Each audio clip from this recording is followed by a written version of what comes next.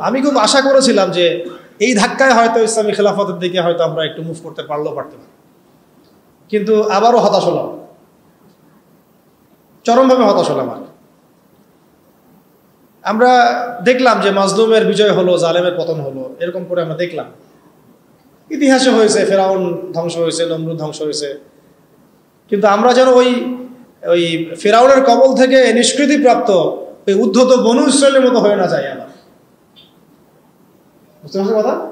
ফেরাউনের কবল থেকে মুক্তি পাওয়ার মাত্র চল্লিশ দিনের মাথায় বনু ইসরায়েল বাছুর পূজা শুরু করছিল।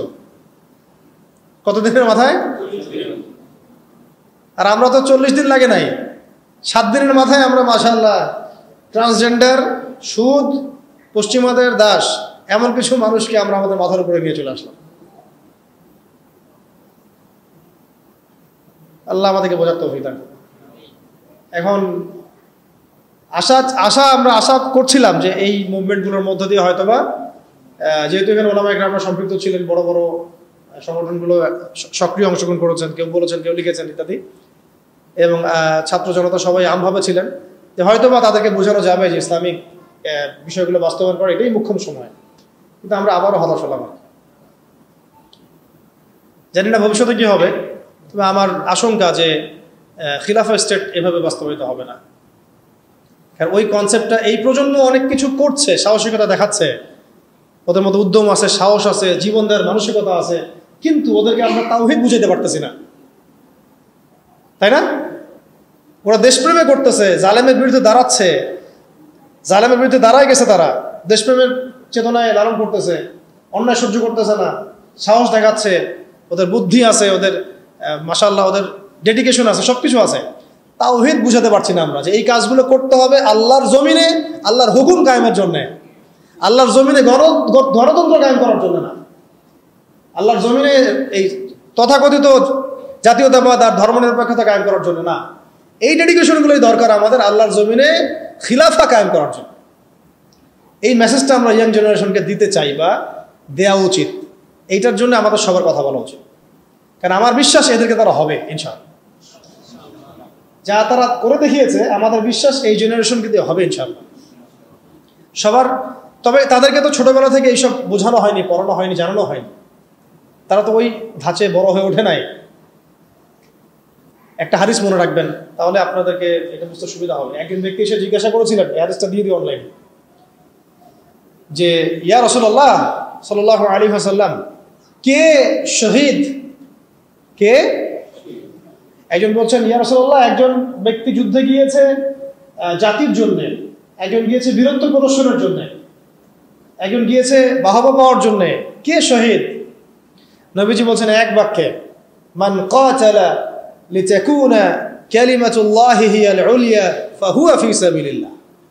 যে ব্যক্তি শুধুমাত্র আল্লাহর জমিনে আল্লাহর ক্যালিমার পতাকা সমুন্নত করার জন্য যুদ্ধে গিয়েছে, শহীদ হয়েছে, ওইটাই আল্লাহর রাস্তা, ওইটাই শহীদ।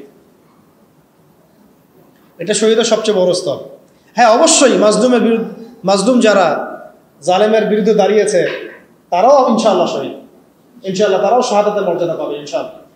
নবীজি হারিসের মধ্যে এইভাবে বলেছেন, মান কাতালা লিতাকুনা কালিমাতুল্লাহি হিয়াল উলিয়া ফাহুয়া ফি সাবিলিল্লাহ। যে ব্যক্তি আল্লাহর জমিন, আল্লাহ পাকের পতাকাটা মানে কি, পতাকা বলতে এখানে কি বোঝাচ্ছে? শরিয়া, আল্লাহর দিন, খিলাফা, এটা কায়েম করার জন্য জিহাদ করে, যুদ্ধ করে অথবা শহীদ হয়, এটা হলো আল্লাহর রাস্তায়। অবশ্যই যে কোনো জালেমের বিরুদ্ধে দাঁড়িয়ে যদি শহীদ হয়, সে শহীদ হবে। অত্যাচারী শাসকের সামনে দাঁড়িয়ে যদি হক কথা বলে, তাকে যদি হত্যা করে ফেলে, সেও শহীদ হবে অনেক স্তর আছে, এটা সর্বোচ্চ স্তর। আর সাহাবিরা কিন্তু এই এই চেতনাতেই যুদ্ধে গিয়েছেন। সাহাবিরা কি ভাষার জন্য যুদ্ধে গিয়েছিলেন? সাহাবিরা কি মানে কি বলব, দুনিয়াবি কোনো স্বার্থে যুদ্ধে গিয়েছেন, জিহাদি গিয়েছেন? তারা শুধু আল্লাহর দিন কায়েমের জন্য জিহাদি অন্য কোনো স্বার্থ ছিল? এমনকি তাদেরকে এই স্বার্থও ছিল যে যুদ্ধে জয় হলে আমি গণিমত পাবো অনেক। হ্যাঁ? এই নিয়ে ছিল? যুদ্ধ জয় হলে আমি অনেক গণিমত পাবো, সম্পত্তি হবে, আমাকে সবাই বীর বলবে, ইত্যাদি ইত্যাদি, এরকম কোনো? একটাই লক্ষ্য উদ্দেশ্য নিয়ে তারা ঝাঁপিয়ে পড়েছেন, সেটা হচ্ছে আল্লাহর জমিনে তাওহিদ ইল্লাল্লাহ, এই কালিমা যেন প্রতিষ্ঠিত হয়। আল্লাহর কালিমা প্রতিষ্ঠা হওয়া মানে আল্লাহ পাকের শাসন, আল্লাহ পাকের বিধান, খেলাফা, এটা যেন বাস্তবায়ন হয়ে যায়। মানে এক কথায় আমার কথা এক কথা। জমিন আল্লাহর হুকুম চলবে আল্লাহ। সহজ কথা শেষ। এই জমিন কার? আল্লাহর জমিন, বিধান চলবে কার? আল্লাহর। আল্লাহর জমিন, শাসন চলবে কার? এখানে শাসক হচ্ছে আল্লাহর প্রতিনিধি। শাসক জনগণের কাছে মুখপেক্ষী না। এখানে শাসক কার প্রতিনিধি? আল্লাহর প্রতিনিধি। আল্লাহকে রাজি খুশি করার জন্য সে জনগণকে ভালো রাখবে। জনগণের কাছে বাহবা পাওয়ার আশায় না যে আমি আপনাদের জন্য এটা এটা করতেছি আপনারা আমাকে ভালো বলবেন। এই নিয়েতেও না, বরং আল্লাহ তুমি দেখো, আমি তোমার দেওয়া দায়িত্ব পালন করতেছি। কেন মরদি আল্লাহ রাতের অন্ধকারে ঘুরে বেড়াতেন আর মানুষের দুঃখ দুর্দশা দেখতেন? কেন কেন তিনি দেখলেন যে একটা চুলার মধ্যে এক মা রান্না করতেছেন খাবার নাই, নিজে গিয়ে বাইতুল মাল থেকে নিজের কাঁধে করে নিয়ে এসে তিনি তাদেরকে দিলেন। কি কি উদ্দেশ্যে? ওই ওই মায়ের কাছে কোনো বাহবা পাওয়ার উদ্দেশ্যে? ওই বাচ্চাদের কাছে কোনো বাহবা পাবেন এই উদ্দেশ্যে? ভালো বলবেন এই উদ্দেশ্যে? দুনিয়াবি কোনো স্বার্থে? কোশ্চিন কেন না। শুধু এক আল্লাহকে খুশি করার জন্য এবং তার ভয়ে যে আমার আন্ডারে যদি কোনো ব্যক্তি জুলুমের শিকার হয়, তাহলে তো আল্লাহ পাক আমাকে ধরতে পারে। আর আমি যদি এই তার এই দুঃখ দুর্দশা দূর করে দেই, আল্লাহ পাকে আমার দুঃখ দূর করে দিবে সন্তুষ্ট হবে এখানে একটা মারাত্মক পয়েন্ট আছে যেটা আমরা মিস করতেছি। তরুণ ভাইদেরকে বলব, নিয়াত ঠিক করে নাকি আপনি কোন নিয়াতে এবং কি উদ্দেশ্যে লড়াই করছেন এবং সংগ্রাম করছেন? অবশ্যই জালেমের বিরুদ্ধে দাঁড়িয়ে যাওয়াটা অনেক বড় একটা স্বভাবের কাজ এবং এটা বিশাল মর্তবা। কিন্তু কাজ এখানে শেষ নয়। কাজ শেষ হবে কখন? যখন আল্লাহ পাকের জমিনে আমরা আল্লাহর খেলাফত বাস্তবায়ন করতে পারব। আমার কথা কি বুঝতে পারতেছেন আপনারা? তাই আমরা এই সচেতনতা তৈরি করব এবং তরুণ ভাইদেরকে বুঝাবো। তাদের পর্যন্ত বার্তা পৌঁছানোর চেষ্টা করব। এরপর যদি তারা না বুঝে, আবার ঘুরে ফিরে সেই পশ্চিমাদের ট্র্যাপে পড়ে যায়, তাহলে আফসোস করা ছাড়া আমাদের কিছু নেই। তখন আল্লাহি তখন এই হাজার হাজার শহীদের রক্তের সাথে গাদ্দারি হয়ে যাবে। হবে না? তখন আল্লাহি আল্লাহর কসম এই হাজার শহীদের সাথে গাদ্দারি হয়ে যাবে। তারা তো তারা তো পশ্চিমাদের সেবাদাস হওয়ার জন্য রক্ত দেয় নাই। আমাদের ভাইরা যারা জীবন দিল কয়েকদিন আগে আপনারা দেখলেন, তারা কি পশ্চিমা কোনো গোষ্ঠীর দাস হওয়ার জন্য রক্ত দিয়েছে? তারা স্বাধীনতা চেয়েছে। স্বাধীনতা মানে কি? আমি বুক ফুলায় সিংহের মতো চলবো আমার দেশে এবং আল্লাহর পাকের ইবাদত করব, কেউ আমাকে কিছু বলবে না। অমুসলিমরা নিরাপদে থাকবে, আমরা ওদের কোনো ক্ষতি করব না।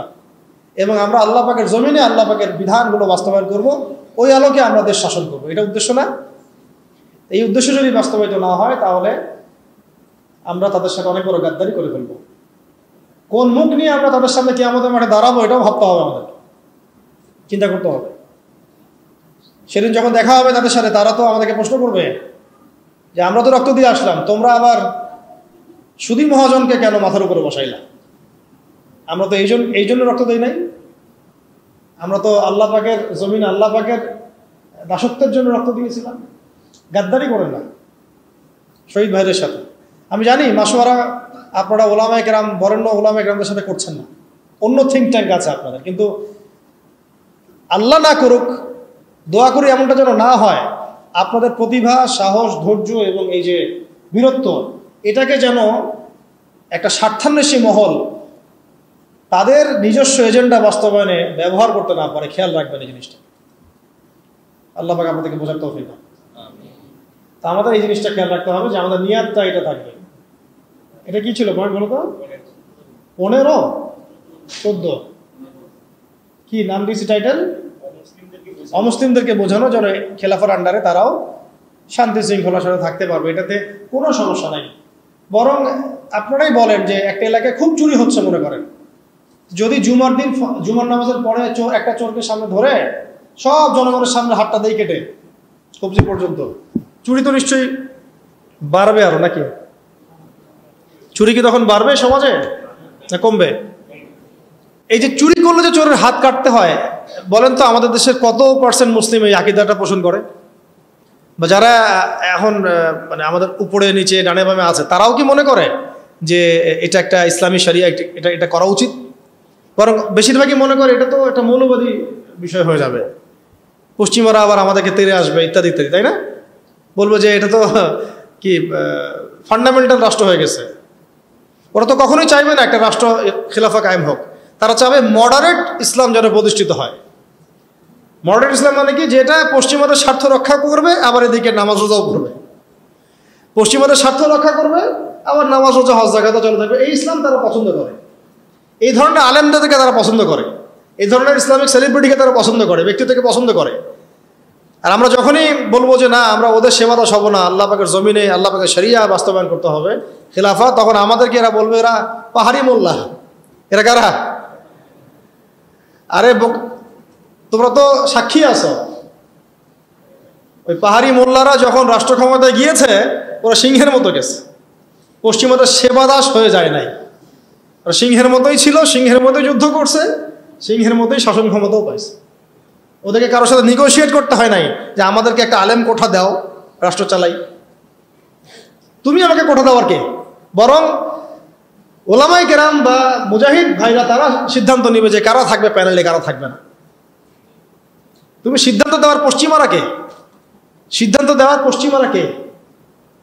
আপনি লড়ছেন, স্বাধীন আপনি করছেন, সংগ্রাম আপনার, সিদ্ধান্ত ওরা দেওয়ার কে? এই জিনিসগুলো আমরা বুঝতে পারতেছি না আর কি। তো এই আমাদের জেনারেশনকে এটা জানানো, বোঝানো যে ইসলামিক লস যেগুলো আছে, হাত কাটা, রজম এই জিনার শাস্তি, চুরির শাস্তি মদের শাস্তি, তারপরে যে ব্যভিচারের শাস্তি ধর্ষণের শাস্তি, বা এই যে একজনকে হত্যা করে ফেলল নিরীহ মানুষ, মাজলুম, তার কেসাস, এই হুদুদ, কেসাস এগুলো বোঝানো। শব্দগুলো পরিচিত করা দরকার। তাগুত, হুদুদ, কিসাস, শরিয়া, ইমারা, খেলাফা শব্দগুলা কি করা দরকার? পরিচিত করা দরকার। মানুষ তো জানেই না শব্দগুলা বুঝে বুঝতেই পারতেছে না শব্দগুলা। এখন আমি একা বা দশজন বিশ জন মানুষ বললে কি সবাই জানবে? সবাইকে বলতে হবে। সবাইকে বলতে হবে কথা এগুলো নিয়ে সবাইকে কথা বলতে হবে। হয়তোবা আগামীকালকে খেলাফত কায়েম হবে না। কিন্তু আপনারা, আমরা যদি এই মেহনতটা চালু করে মানুষকে এই খেলাফার ফজিলত বুঝাতে পারি এবং এটা না থাকার কুফল বুঝাতে পারি, কে জানে, বিশ বছর পর হয়তো হবে ইনশাল্লাহ পনেরো বছর, ষোলো বছরের একটা সিলসিলা পনেরো সেকেন্ডের মধ্যে চলে যায় নাই?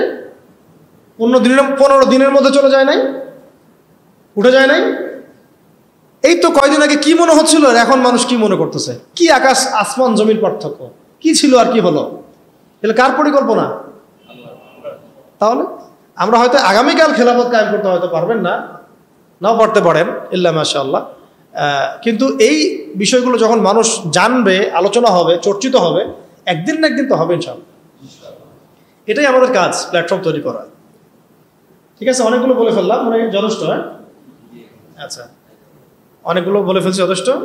তাহলে ইলমের সাথে আমল তাস্কিয়া তারপরে ওলামা একরামদের সহবত, মুরব্বী রাখা, মশওয়ারা করা আমি নির্ধারণ করা, তারপর সুরাভিত্তিক পরামর্শ করা, হালাল খাওয়া, এদাত মানে ফিজিক্যালি ফিট থাকা এবং সিরাতের চর্চা বলছি কেন? কারণ সিরাতের মধ্যেই সব কিছু লিখাই আছে কীভাবে আপনাকে করতে হবে। এবং ব্যাপক দাওয়াতি কাজ করা, সচেতনতা মানে দাওয়াতি কাজ করা এবং দাওয়াতের সাথে সাথে জিহাদের প্রস্তুতি রাখা, এটা শেষ কথা। দাওয়াতের সাথে সাথে কি রাখা? জিহাদের প্রস্তুতি রাখা। দেখেন, শেষ কথা এগুলো, শেষের দিকের কথা, যে মক্কায় হচ্ছিল না, মক্কায় হচ্ছিল না, সাহাবিরা আবিসিনিয়া চলে গেলেন, নবীজি তায়েফে গেলেন।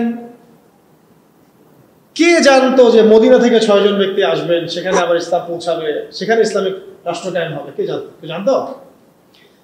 দেখেন, দাওয়াতের মধ্য দিয়ে ইসলামিক রাষ্ট্রটা কায়েম হয়েছে। আর ওইটা একটা ইমারা প্রতিষ্ঠা হয়েছে। তারপরে দেখেন পুরো আরবের মধ্যে যে ইসলামিক খেলাফার রূপরেখাটা, এটা কিন্তু শুধু দাওয়াতের মাধ্যমে তখন হয়নি, পর সাথে সাথে জিহাদও লেগেছে। আল্লাহ নবী সাল্লাহ সাল্লাম মদিনার এই নয় দশ বছরে কয়টা যুদ্ধ করেছেন আপনারা জানেন? একাশিটা। একাশিটা বা সপ্তআশিটা, এরকম আর কি পরিসংখ্যান। নিজে করেছেন, নিজে। আমি সিরাত পড়েছি এবং সিরাতের আমি খুব ভালো স্টুডেন্ট। এবং আল্লাহ রহমতে আমরা সিরাত পড়াচ্ছি অনেক মানুষকে, আলহামদুলিল্লাহ। সিরাতটাকে আমি খুব গভীরভাবে পড়ার চেষ্টা করি, কারণ এখানেই সলিউশনগুলো দেয়া আছে। প্রতি এক থেকে দেড় মাসে, প্রতি এক থেকে দেড় মাসেই যুদ্ধ হয়েছে যুদ্ধের উপর যুদ্ধ যুদ্ধের উপর যুদ্ধ। নয় বছর আপনি পড়েন মাদানী জীবন, নয় বছর মাদানী জীবন পড়ে দেখেন, প্রতি মাসে মাসেই যুদ্ধ হয়েছে। কমপক্ষে আশিটা।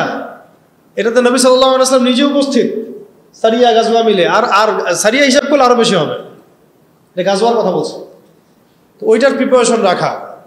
তো এটা পরবর্তী স্টেপ আগে স্টেপগুলো আমাদেরকে সাজিয়ে নিয়ে এই পুরো ছকটাকে মাথার মধ্যে রেখে এখন আমাদের মৌলিক কাজ হচ্ছে সবাইকে খিলাফা কনসেপ্টটা বোঝানো, সচেতনতা তৈরি করা, এর সুফলগুলো তুলে ধরা, এর এবং অমুসলিমদের যে ভীতি কিছু আছে, ইসলাম সম্পর্কে নেগেটিভ কিছু ধারণা আছে, এগুলোকে দূর করানো এবং একটা জামা ফর্ম করে ফেলা। জামা মানে একটা প্ল্যাটফর্ম ফর্ম করা যারা খিলাফা মুভমেন্ট নিয়ে সামনে কাজ করবে সব এবং এটা অবশ্যই মুরব্বীদের পরামর্শে, সুরাভিত্তিক। এবং যারা যারা যারা এখানে নিজেকে নিজে জানমাল উৎসর্গ করার জন্য প্রস্তুত থাকবেন, তাদেরকে অবশ্যই জ্ঞানী হতে হবে, আমলদার হতে হবে তাস্কিয়া অর্জন করবেন এবং ধৈর্য ধরবেন। কি করবেন? ধৈর্য ধরবেন। এটা একদিনের কোনো মেহনত না, একদিনে হবে। যেটা একদিনে হয়, সেটা একদিনই টেকে। যেটা মেহনত করে অর্জিত হয়, সেটা অনেক দিন টিকে ইনশাল্লাহ তো আমার মনে হয় যথেষ্ট বলেছি এই বিষয়টা। আজকে এইগুলো আমি স্কিপ করলাম ইনশাল্লাহ অন্য কোনো সপ্তাহে আমরা দার্সে এগুলো আলোচনা, এই প্রশ্নগুলোর উত্তর দিয়ে দিব ইনশাআল্লাহ তাহলে তো সর্বশেষ কথা হচ্ছে আমরা আজকের আলোচনা যা শিখলাম দিনের ব্যাখ্যা ইসলামের ব্যাখ্যা ইসলামিক ইসলামের ইসলামের রাজনৈতিক দর্শন খিলাফা কনসেপ্ট এর উপকারিতা কীভাবে প্রতিষ্ঠা করব রূপরেখা কেমন হবে এগুলো নিয়ে কিছুটা আলোচনা করার প্রয়াস আজকে আমরা পেয়েছি। সব আলোচনা হয়তো আসে নাই আরও এক একদিন আসবেও না আরও সেশন লাগবে ইনশাল ঠিক আছে? আল্লাহ পাক আমরা সবাইকে আল্লাহ পাকের জমিনে আল্লাহর দিন প্রতিষ্ঠা করার তৌফিক দান জমিন আল্লাহর শাসন চলবে। জমিন আল্লাহর বিধান চলবে? এই কনসেপ্টের নামই ইসলামী খেলাফা সহজ কথা। সহজ কথা এটা যে আল্লাহর জমিন, শাসন চলবে আল্লাহ। আল্লাহর জমিন বিধান চলবে আল্লাহর। আমরা এখানে আল্লাহর প্রতিনিধি মাত্র। আমরা আল্লাহ পাকের খলিফা। খলিফার ফাংশনই হচ্ছে খিলাফা কায়েম করা। আর খিলাফা হচ্ছে ইসলামের রাজনৈতিক দর্শন। এর বাইরে যা আছে, এগুলো সব কিছুই বাতিল। সাময়িক কিছু উপকারিতা দিতে পারে। সাময়িক উপকারিতা কিছু দিতে পারে, কিন্তু এটা কখনোই মুসলিমদের স্বাধীনতা অর্জনের একমাত্র মাপকাঠি বা মানদণ্ড কখনোই হতে পারে না। আর এটাকে যারা স্বাধীনতা মনে করে, এরা দিনে দুপুরে জেগে জেগে স্বপ্ন দেখতেছে। আল্লাহ পাক এই ঘোরটা কাটায় দেন, আমিন।